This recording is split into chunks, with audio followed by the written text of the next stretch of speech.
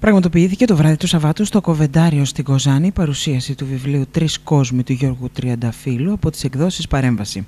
Το βιβλίο Τρεις Κόσμοι είναι ένα μυθιστόρημα που περιγράφει εκ παραλίλου τις ιστορίες τριών εφήβων μέσα από τις οποίες και την τραγικότητά τους διαφαίνονται οι προβληματισμοί, οι αγωνίες τους, οι σχέσεις με τους γονείς τους.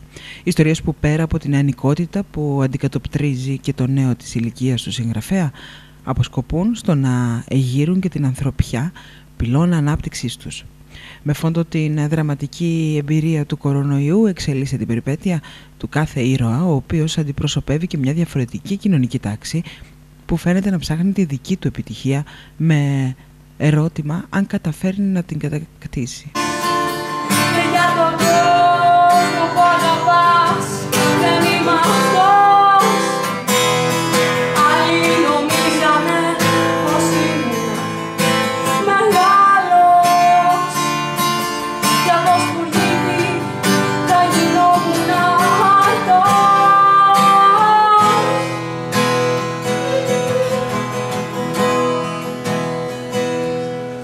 está negado a cafeína.